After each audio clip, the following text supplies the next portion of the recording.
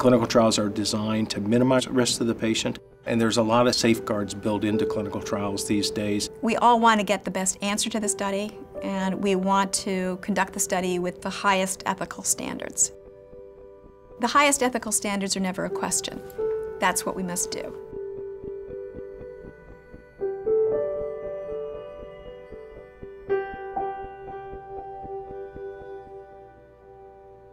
The common fears about clinical trials are we don't know what we're doing, we're just experimenting, and it's just an irrational fear because we think about it so carefully when we do a clinical trial. When a potential new medicine is ready from the perspective of the researchers to go into people, there's a very rigorous process that is undertaken.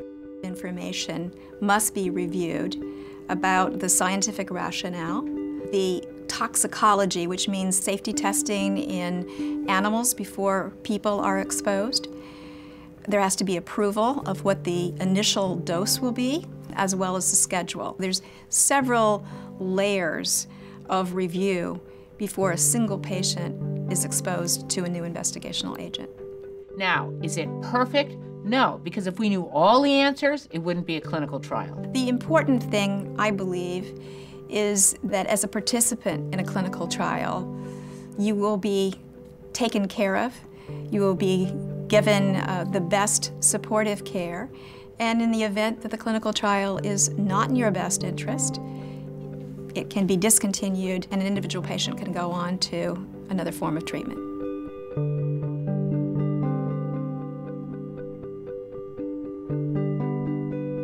Explain to cancer patients that when they're on a clinical trial, they're going to be followed very, very closely by very, very specific guidelines within the protocol. It gives the design, it gives the study drugs, it gives the side effects, it gives what to do if you have side effects, who you need to report it to if you have side effects.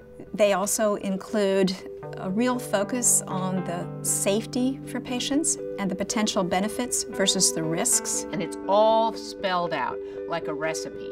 And so you know that the doctor has to adhere to a recipe that's been designed by a bunch of experts.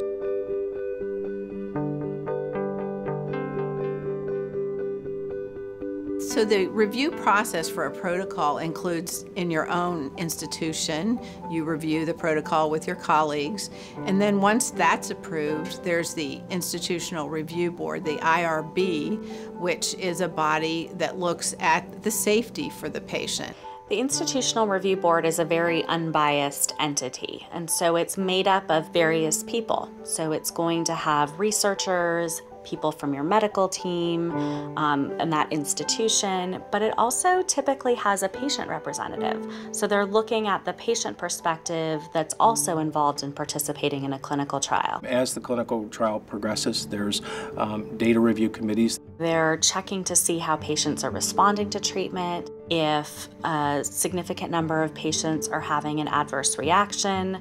They discuss whether or not it's appropriate to move forward with keeping the clinical trial going. They can also, on the other hand, see that an investigational arm is far superior to the standard of care, and they can recommend that the study be halted for ethical reasons because of the superiority of the investigational agent. So all of those things are possible. Of course, there's no guarantees of success through a clinical trial, and patients need to understand that going into the trial. Anytime I had any type of issue, my physician had to go back and make sure that everything, anything that she offered me was adhering to the guidelines in the clinical trial. So I felt more cared for. Actually felt a little loved too.